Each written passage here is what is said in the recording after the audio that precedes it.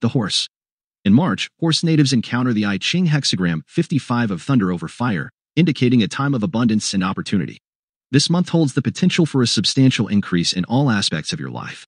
It's a period of action and gathering, where the work you put in now can yield significant rewards. This is not a time to be passive. Instead, it's essential to actively pursue your goals and aspirations.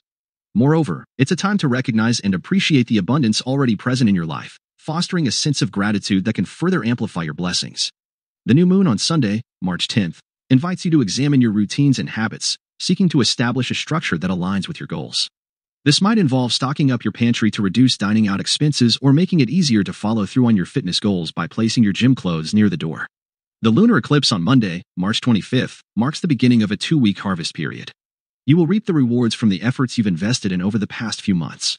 This is an opportune time to call in any favors owed to you, potentially receiving bonuses or specific